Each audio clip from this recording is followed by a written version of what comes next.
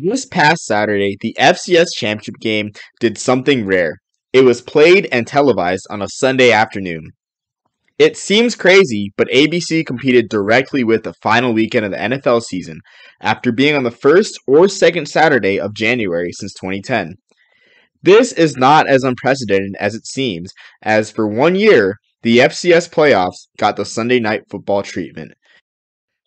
Before I begin this story, I ask that you like this video and subscribe to the channel. We got podcasts, interviews, and a lot of other cool content.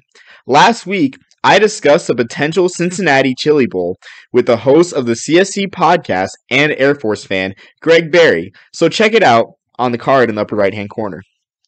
To understand this story, we need a feel for the college football broadcasting climate of 1983. As I've mentioned in previous videos, which you can watch in the card in the upper right hand corner, the NCAA and ABC or whatever network had the TV contract negotiated and determined the TV schedule each season until 1984.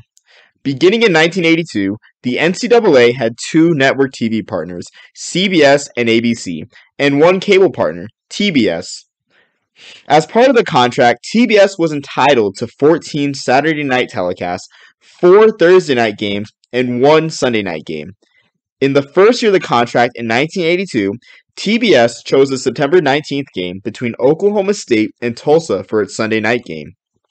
You may ask if they competed with the NFL, and the NFL did not have a regularly scheduled Sunday night game until 1987 when ESPN signed with the league.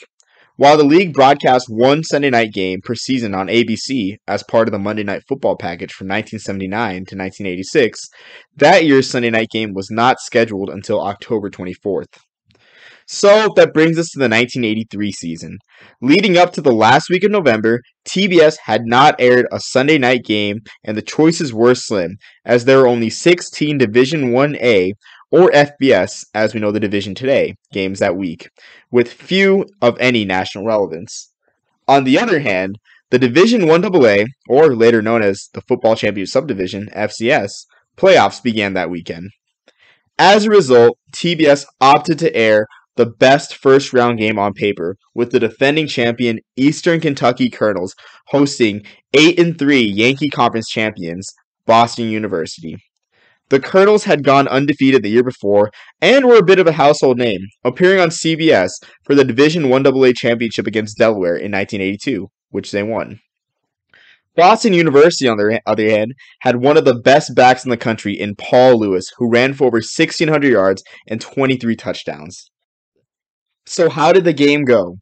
The game lived up to the hype as Boston University upset Eastern Kentucky 24 to 20 in a closely contested game. However, the next week, Boston University's Cinderella story would end as they would lose to Furman 35 to 16 in the Division 1 AA quarterfinals.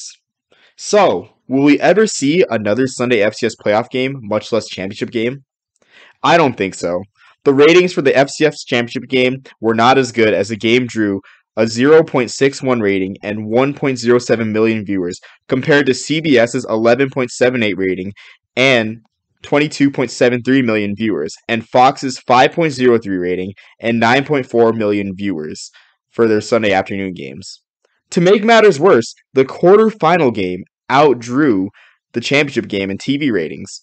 Holy Cross and South Dakota State drew better TV ratings on ESPN and nearly 500,000 more viewers on December 10th. So it is safe to say that competing with the NFL was a failed experiment for the FCS. Like and subscribe for more videos. Thank you.